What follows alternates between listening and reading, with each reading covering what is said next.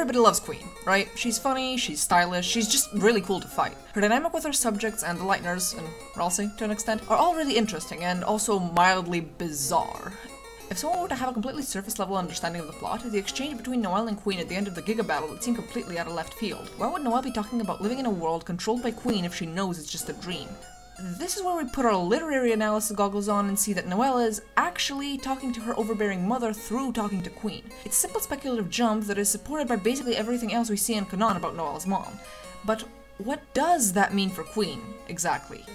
Embodies a sort of archetypical mother, ruler and provider and tyrant. She puts herself above others and demands worship. This is basically the villainized and exaggerated idea of a mother figure, someone who both provides but also belittles. Parent-child relationships will always have a power imbalance, but as the child ages, that imbalance should disappear as the child begins taking control of their life and becomes a functioning adult. Queen overrides this natural progression through her blatantly stating that she's better than adults too. Everything about her character just screams mommy issues personified and I want to explore what that actually means for everyone, not just Noelle.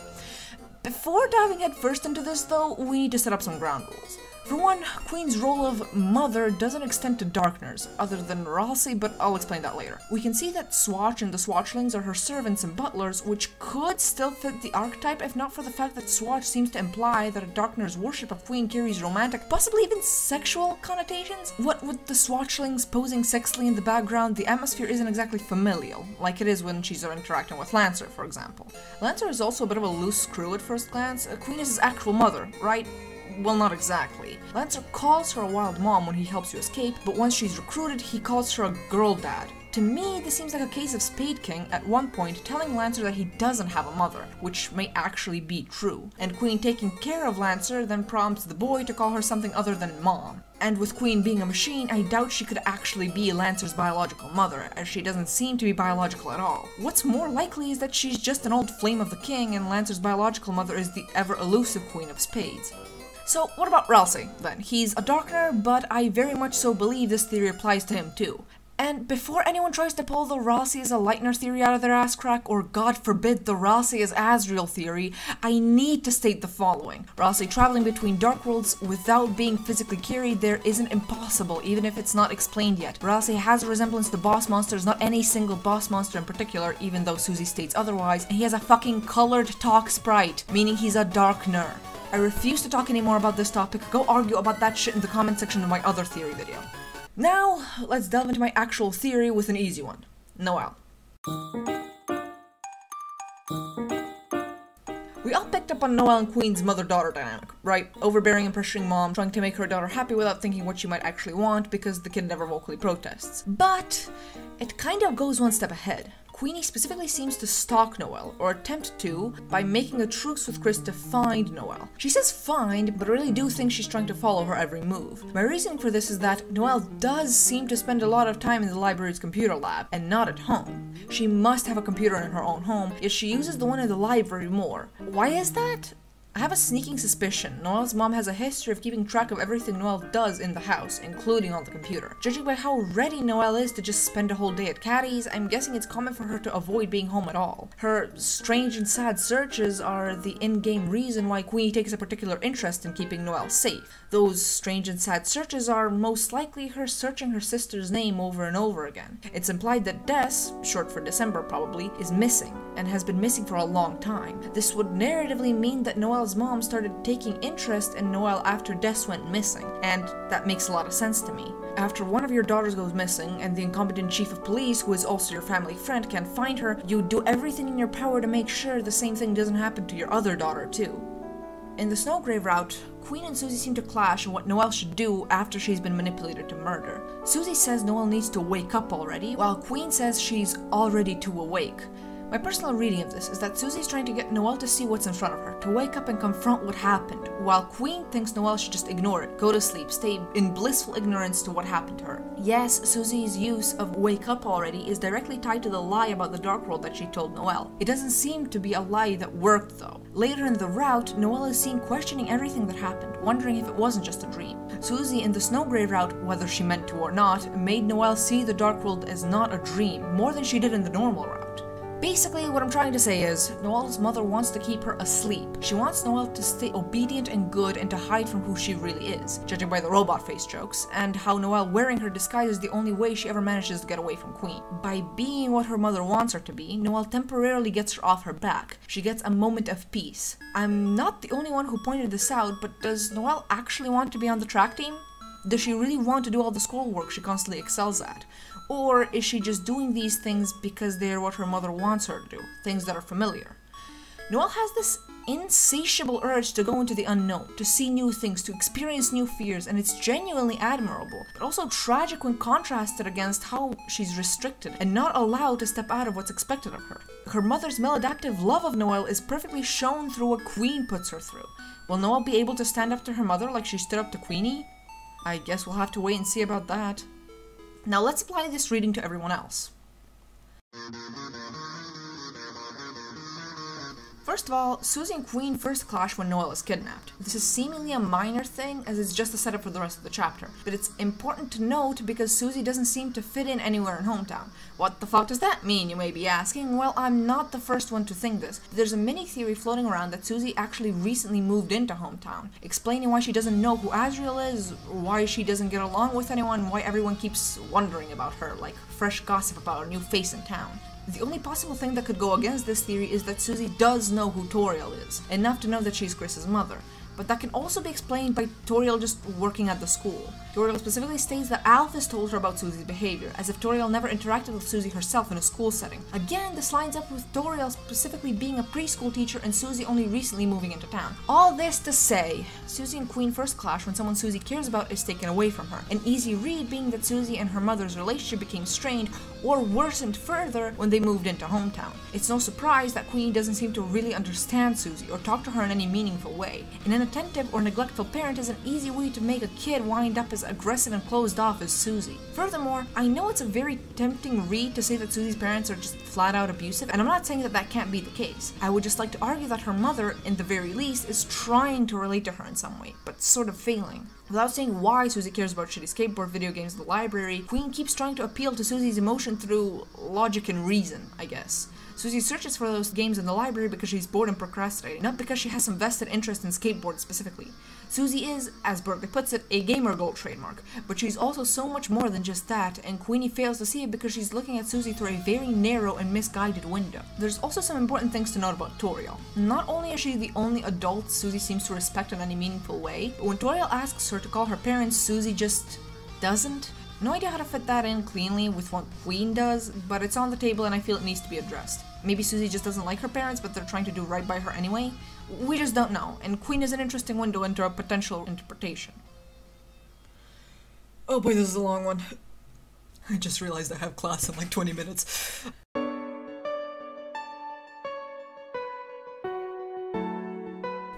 Queen and Kris first clash at the arcade game. This is basically just a fun game they play with Queen for seemingly no reason. But an important thing to note here is that Kris can't play Queen's game without the help of their friends. This is significant because the next time Queen and Kris clash is when Queen decides to make a truce with them. I think that this specific order of events shows that Kris and Toriel could only ever have fun with the rest of the family there too. With those two other members missing, things aren't as easy. Toriel says herself that the house feels lonely with just the two of them, and we can tell from Kris's past actions that they and Toriel didn't always get along. They flush bath bombs down the toilet toilet, they eat all the pie every time she makes it, she keeps her room constantly locked because of them, and the most damning of all, she used to borrow the How to Take Care of Humans book from the library a lot. So much so that it's the only thing Kris can remark about the damn thing. Kris and Toriel are a family, but at best a cooperative one with not much else there.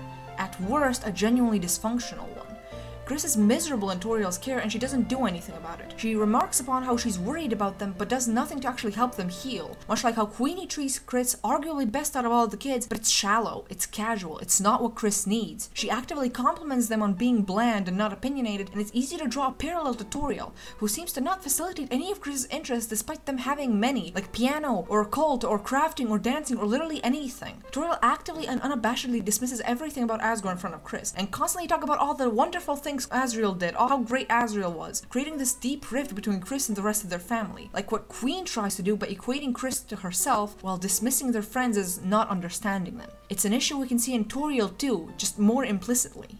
Let's take a look at the interaction Toriel has with Asgore in the supermarket. Yes, Asgore is shooting a pointless shot and it's really cringe to watch, but I specifically want to focus on the part where he brings up the kids. At first, he brings up Asriel, and Toriel quickly dismisses him with an I'll get back to you on that. And when he tells her to say hi to Kris for him, she dismisses that too. At no point does she actually say hi to Kris for him. Sure, someone might say this is a minor detail, but coupled with how quickly she is to throw away the flowers Kris brought her, we can assume this isn't an isolated incident, that she keeps doing everything in her power to distance herself from Asgore in every way, and that's fine, more power to her, but it's not okay when it's directly affecting her child's relationship with their father. Kris has been successfully isolated from everyone and anyone they could have ever had a bond with other than Toriel. Whether she means to or not, Toriel created a home for Kris that no longer feels like home. She's isolated them at school too because she keeps doting on them and not letting them just have a normal education experience. It's a known fact that family is highly discouraged from working in the same workplace together because it strains familial relationships. Asriel is Kris's idolized older brother, and Toriel facilitated them living in his shadow, and when he left, they had no one left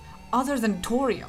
It's shown that Kris is genuinely lonely in the city, without Susie and Ralsei, and Noelle being there means nothing to them either. Queenie, whether she meant to or not, isolated Kris from their loved ones for her personal gain. Just like what Toriel did. God, no wonder Kris acts the way they do when they feel like everyone around them either hates them, abandons them, or tries to use them and control them. I'm not saying Toriel is a bad mother, I just think there's more nuance to her than just good goat mom in all times. She's flawed and you can't have the same approach to raising every single child. Her method may be good for Asriel and very young kids, but it's clear that Kris is unhappy while in her care for one reason or another. I think it's also really important to mention the alcohol connection. Yes, yes, funny haha battery acid joke, but let's actually examine what this is. Queenie is near constantly in the chapter drinking what is heavily implied to be alcohol to her. However, there are only two places where she's shown to be drunk. Her talking to Kris in the alley and her almost final battle. This is significant because both are directly tied to Kris, especially during the battle, where Kris makes an overly emotional toast to Queenie, which is again played for laughs. In the Undertale Wintercloak dialogue, we can see that Toriel has a bit of a drinking issue. She's not an alcoholic, but she's also not responsible with her drinking either. Papyrus equates this to her having too much eggnog, which is just Toby winking at us and saying Toriel got shit-faced. Flowey ends up being the one to take care of Toriel in these moments, bringing her water, basically making sure she's okay, which sort of shows that Toriel, whether she means to or not, makes her kids responsible for her well-being when she drinks. Obviously, Undertale and Deltarune are not the same, but I think something like this, a nasty habit that a character has, can easily be carried over from one game to another. Now that emotional toast Kris made to Queenie doesn't feel so funny, does it? I need to preface this entire section with I do not like Berdly. He's annoying and obnoxious, and every moment he's on screen, I'm either yelling at him or groaning. However, I feel he's an important pin to this theory, so I will give him the time of day this once. Berdly is this overcompensating mess of a child who seeks to impress at every opportunity. He prides himself in being better than everyone else, but as we all know, pride is often just a code for people who have zero self-esteem. And throughout the chapter, we see him trying to overcompensate the most with Queenie, trying to impress her and constantly bothering her, while she ignores him. I feel it's an important distinction to make between ignore and forget. I'll bring up the forget half of it with Ralsei, but the thing you need to know for Berdly is that Queenie has active malintent with her mistreatment of Berdly. The roller coaster fight with Berdly is a particularly important showcase of this, where literally all the flavor text shows Berdly trying to reach out to Queenie like a mother figure and her ignoring him and neglecting him in every way she can. It's funny flavor text, yes, but also a tragic portrayal of what Berdly has to deal with at home. The fact that when he first won a spelling bee, he felt overwhelmed by affection and praise taught him that he needs to earn his love. No well-adjusted child with loving parents acts that way to praise from a spelling bee. He feels he needs to earn their attention and care, and because he relies so heavily on Noelle for that which earns him that recognition, he feels that he's lesser than her, lesser than everyone else. All that bullshit about a smart utopia, it's Berdly desperately clinging to the one part of his identity that Queenie seems to be even mildly amused by. Then he runs it into the ground and she's back to hating him. In her own words, there's nothing wrong with Berdly, he's just really annoying. Um, Mrs. Berdly's mom, can we talk?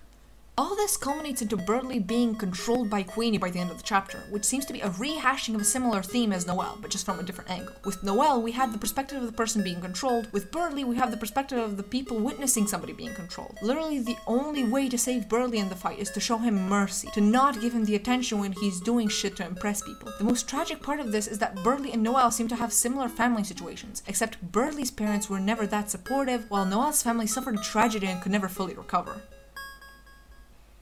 Does this town have a therapist?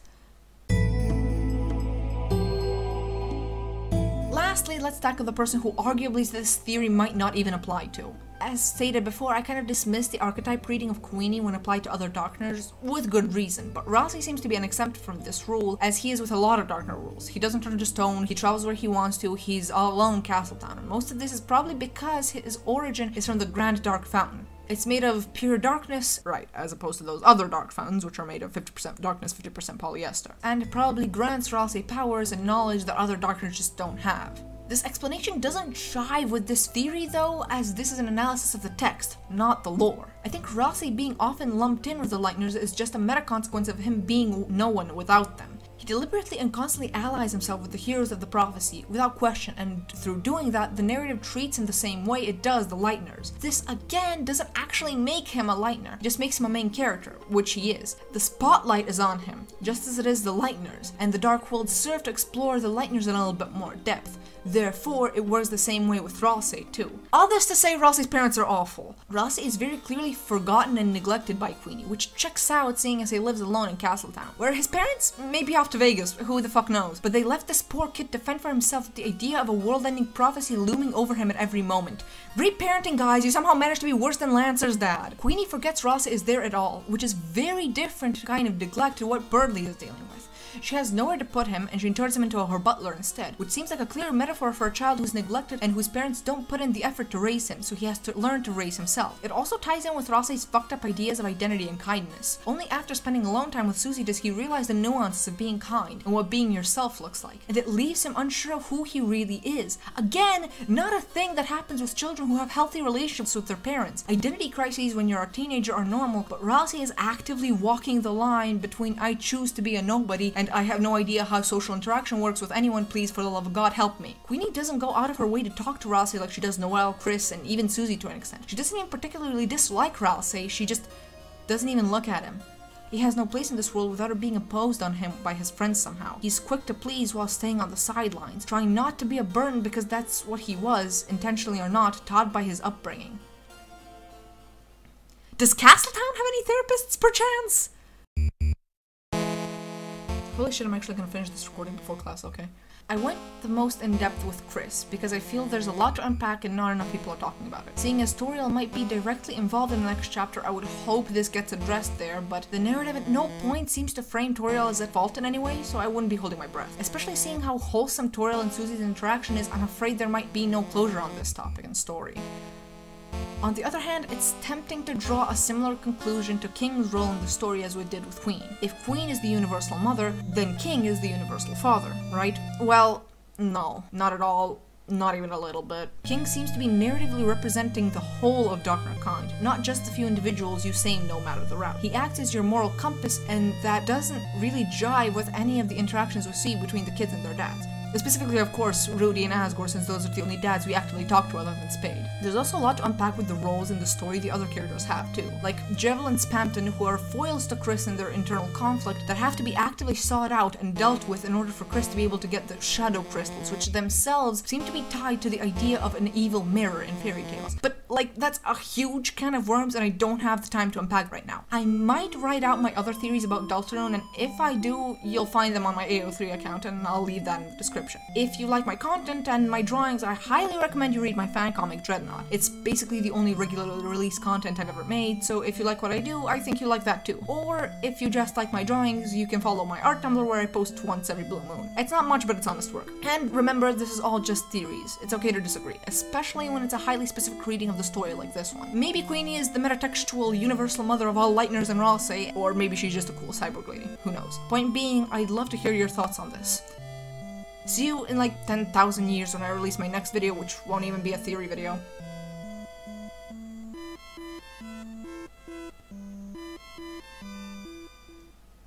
I can't believe I actually managed to record all that between my classes. I am an actual fucking god.